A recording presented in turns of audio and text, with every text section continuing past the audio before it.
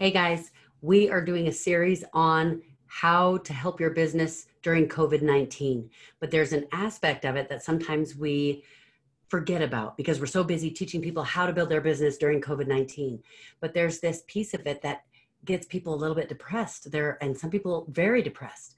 They're worried. They don't know how to grow their business. They don't know what to do during covid-19 they don't know what's going to happen next. So people feel this sense of uncertainty so I thought it would be a good idea to talk about the ways that COVID 19 actually is a huge benefit to the entrepreneur, to the person who's creative and who wants to serve in whatever capacity for the skills that they have, the things, the solutions that you have to offer, the problems that you want to solve. I'm going to share with you six different jobs that didn't even exist before COVID 19. And these are online jobs. And of course, with quarantine, we need to be online. We need to be interacting this way.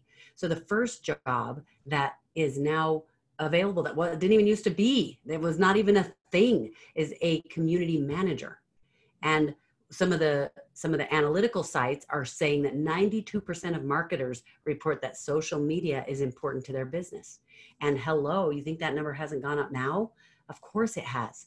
So social media is important to their their business, and what a community manager does is they're in charge of starting discussions online and converting internet users into signups for a site or into giving their email, figuring out the best way to make sure that we can collect emails and grow our list so that we can convert them into customers. That's a community manager. That was one that didn't even exist before. The second one is a social media manager that existed before COVID, but it has grown like crazy since COVID started. Everybody needs to take their business online. And a social media manager, the job in a nutshell is they update and manage your social media channels. And right now, this is usually a mix of Snapchat, Instagram, Twitter, Facebook, Pinterest, YouTube, Google Plus, whatever, all of those. And depending on how how big your following uh, is or what platforms you're using your social media manager will manage all of that. I have a social media manager. I had one before covid but i'll tell you what our strategies have changed. We've tweaked some things once covid started. We already built our business online but guess what one of the things i do is i help business owners. I help entrepreneurs to grow their business. And so there are people out there who would never have heard of me before. And now we're trying to we're actually reaching into customer segments that we hadn't been in before. And it's opening up a whole new world for us as far as possible customers. So that's huge. The third one is a content manager this job is basically in this day and age the business needs a solid content strategy. They've got to be able to know how to keep their content um, their content has to fit. Like it's got to you can't be all over the place. You people have to know what you're about. If you're a dentist you're not posting about decorating houses. You're posting about dentistry. It has to fit into your niche and so your content manager is going to make sure that you have content that fits what you're trying to do. It fits your personality. It fits your um, your culture for your business. It fits all of those things. Now i hope this is helping you feel more positive about the opportunities and the possibilities during COVID 19. This could very well take a turn for us that similar to what happened during the Industrial Revolution things changed. People moved from the farms into the cities. It created problems, but it also solved a lot of problems. And the problems that were created because of what was happening, it created opportunities for the entrepreneurs. And it actually allowed allowed the people who have a skill or something that they want to serve the world with, it allowed them to come out with that thing and offer it as a solution. So there might be things that you've been thinking, you've been holed up inside thinking, okay, well, you know, I've got this business, but that one doesn't make sense. Maybe now it makes more sense because people are needing that. The fourth job is a virtual reality consultant. Now, there are virtual assistants, there are all types of virtual jobs, but a virtual reality consultant, what their job is, it's kind of still emerging. And so there isn't there isn't a whole lot in the way of a like a set natural like everybody says this is exactly what it is. There's not really a career progression because it hasn't been around long enough which is kind of good because it gives you flexibility.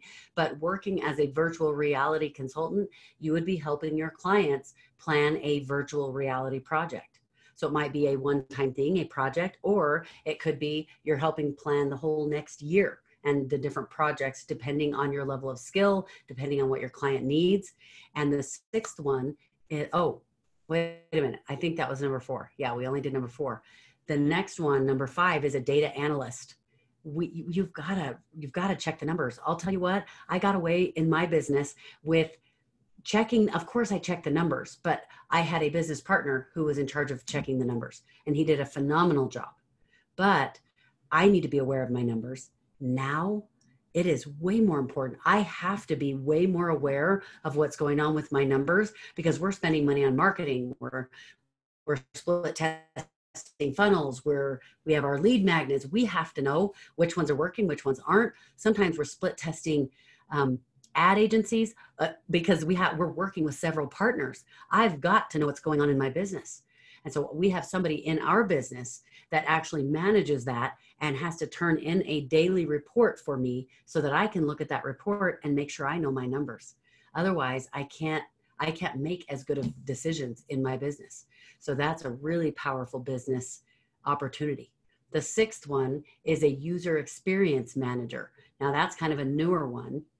And uh, in that job, what happens is it we need to we need to know how our people are feeling.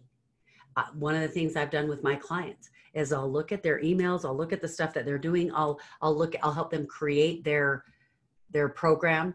In fact, I have I have a client right now where she just I helped her create her program for songwriting. She she writes songs and she's she wants to teach people how to write songs and she's very good at it. So we created a program that is part of her value ladder where it's teaching people how to write music and helping them ascend up her value ladder to become regular customers for her. And she came, so I gave her assignments and within one week we had her entire program totally written out. She came back to me. We went through it. I, I said, I want you to take this off. I want you to make this change. I asked some questions because I'm not a songwriter, but I just needed to ask enough questions because guess what I'm doing? I'm trying to figure out the user experience.